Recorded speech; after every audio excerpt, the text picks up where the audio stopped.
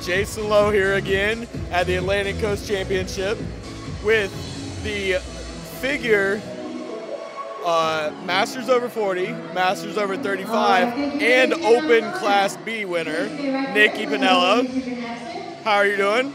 I feel great, thank you. You looked amazing. And how did you enjoy your prep leading into this show? I love my prep. I actually loved every minute of it. Um, it was hard, but it prepared me. You were a great coach. I have to say that. I mean, like, I had the best coach, so I, I was very pleased. Well, thank you. I appreciate that. it is an honor being a coach to somebody that puts in such hard work and pushes himself beyond. So I was very happy with the way you looked. You looked amazing.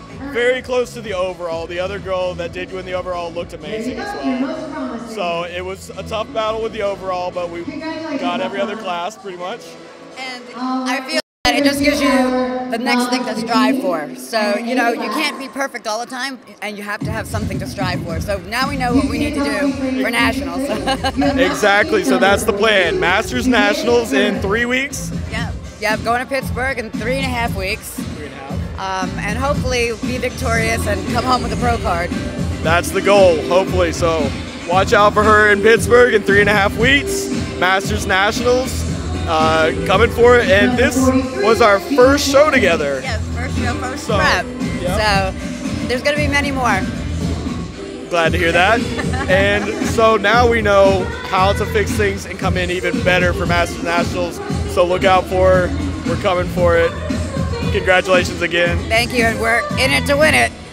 Yes. so what are you going to go enjoy now? I, I, I don't even know. I had Reese's already and cookies, so I don't know. I have to think about this kind of hard because I have to get back on prep real soon. yes, you do. You can enjoy tonight, but back on prep soon.